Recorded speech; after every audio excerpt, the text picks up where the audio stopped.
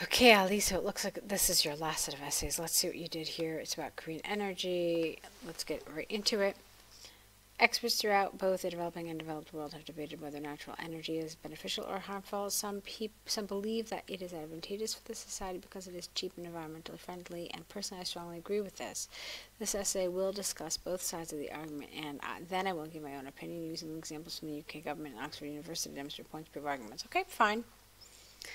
On the one hand, there is ample evidence available that many green energies, such as wind, tidal, wave, well, I think tidal and wave are the same, so careful with that. And solar power, many green energies. No, look, green energies, and then are becoming common among the world. The central reason behind this is twofold. Firstly, these are less expensive. Secondly, they are natural and less damaging to the environment. For example, recent empirical research by the UK government demonstrated that using green energy will reduce detrimental effects on the global climate. It should not be forgotten that although this energy is natural, we should take possible measures not to waste any of the resources. It is therefore clear, conclusively clear, that this kind of energy is better for the world environment. Okay, so check out what you did. You told us, firstly, they're less expensive, and then you didn't describe it at all. You didn't go into it at all. You went straight into your second um, main idea, and then you developed this. Uh, never anywhere did you develop the fact that it's less expensive. You should have talked about that. You should have said that since it's not something that needs to be drilled or something finite or, you know, what have you, that um, it's less expensive. Okay, so you should have said something about it. But you can't just have a main. You can't have a main idea and just leave it hanging there without any sort of support. It absolutely must be supported. So you didn't support this, you went straight into this, and then um, I don't think you needed this sentence at all. This to me felt really irrelevant. It has nothing to do with what you're being asked, so you should have gotten rid of it, okay? Um, okay, so on the other hand, some audiences, should be plural, are against this energy. This is largely because they think that green energy is a danger to the natural energy resources.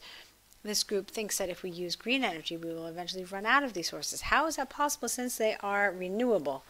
For instance, exclusive research by the Oxford University showed that Pakistan is left with 25% of the water if they use water for electricity. They will eventually have no water after. Mm.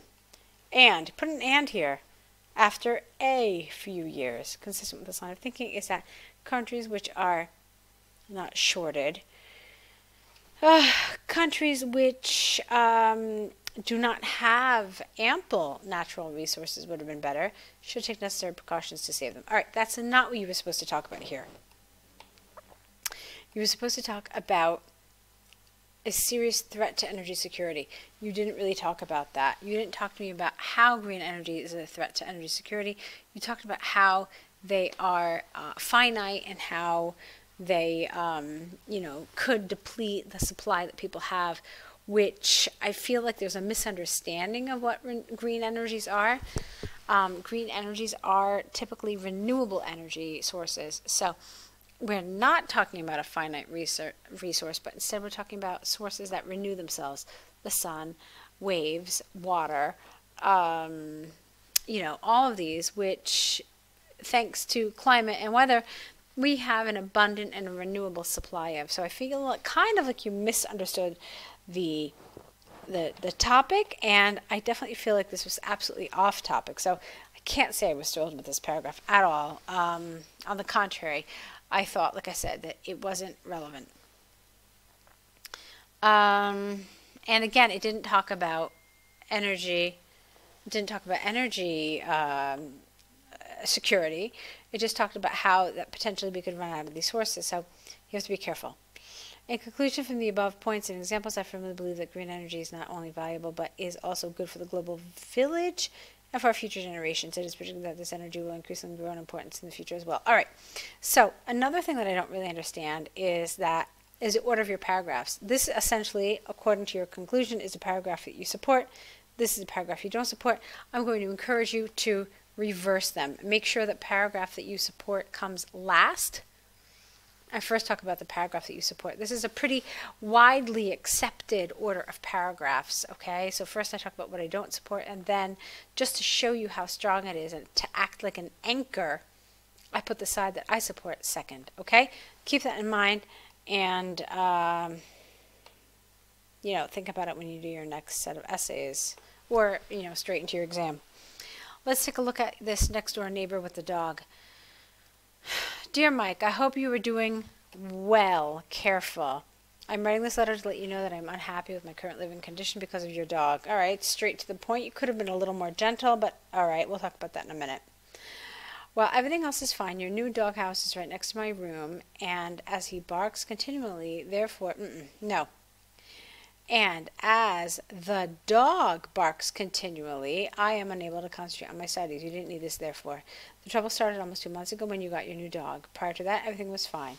Your old dog was quiet, and I had, past tense, no problem with him. Whereas your new dog stays up all night and barks incessantly loud. Therefore, I'm unable to sleep and study properly. Is it possible for you to move your new dog to your front yard? As it is away from my room, I think that would reduce the noise. If that is not possible, you can take professional service. No. You can hire a professional service and train your dog. I have a friend whose dog was barking day and night, and eventually he sent his dog to a training school, and his problem was solved. I am sure the noise is not only disturbing for me, disturbing me, not for me, but, also, but for others too. I have a friend who trains dogs, and if you would like, I can ask him to visit you. Okay, uh, it's fine. Okay, I hope you can find a possible solution to this problem. Thank you in advance. Oops. Okay. So let's talk about this. You already said his name. It's dear Mike. And so it must be your friend, your neighbor, yours sincerely, but never yours faithfully. Yours faithfully is what we use in a formal letter only when you don't know the name of the person you are writing to. Here, you've clearly called him by name, and it's not a formal letter. It's informal or neutral. So this should have been regards, best regards, yours faithfully, uh, yours sincerely, forgive me. All right, number one, let's deal with that. Um, I felt that you used a lot of and. As far as linkers are concerned, this I guess is a coherence and cohesion issue. I felt like you used and a ton. Um, and I have no problem with him and barks incessantly loud, sleep and study properly, um, and train your dog, barking all day and night, and eventually, and his problem was solved. And if you would like, I can. See, do you see what I'm saying? I felt like there was a ton of and. And for me to pick up on that, it means that it was really blatant. Okay, now obviously and is a linking word that people use all the time, but it should be seamless. It should not attract any attention. So what I would have liked is for you to have um, changed around the order of these sentences so you didn't have to use and quite so many times. Okay, so that's a little bit about grammar. That's a little bit about um, coherence and cohesion. Um, let's see. Oh yeah, not grammar. I'm sorry. It was about uh, just um, coherence cohesion again here too. All right, so be careful with all of that. I thought the rest on it, the rest the rest of the letter on its own was fine. I didn't really have an issue with it. So this is your last set of essays. You may have told us when your exam is, but to be quite honest with you, I can't remember off the top of my head. Um, if you've got a few days, even if you've got like five or six days, I'd like to encourage you to sign up for more essay corrections. You're doing well, but I still think there is work we could do. Um, I still think you will benefit from feedback. So see if you can sign up to one of the extra essay packs, um, and we can, you know, continue preparing you uh, right up to your exam. All right, keep it in mind, and I look forward to hearing from you. Good luck.